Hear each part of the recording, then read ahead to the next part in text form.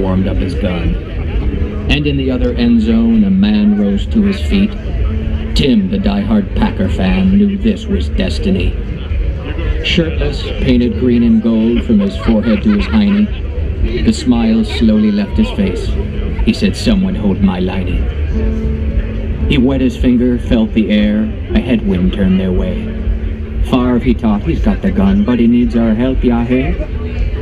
He lumbered down the steps. His mission now was clear. Neutralize the headwind or wait another year. And as he stepped onto the field, security stopped him short. They asked him who he was. He said, I'm Tim, I'm from up north. Whereabouts, they fired back. Sheboygan, he revealed. What do you catch? He said, mostly pike. They let him on the field. As Favre barked out the signals, Tim chugged a giant beer. And then another, and one after that, as tension filled the air. The ball was snapped, a route was run. Favre unleashed the ball. Never had there been a spiral so clean and far and tall. But then it hit the headwind and started coming back. Tim felt a rumble in his gut. Now was time to act. The burp came out so long and hard, the Yukon felt a breeze.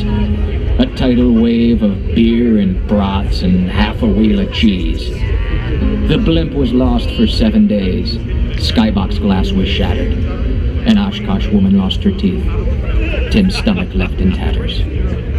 But the pass came down, the catch was made, and just before Tim died, he was heard to say, the packer back, oh,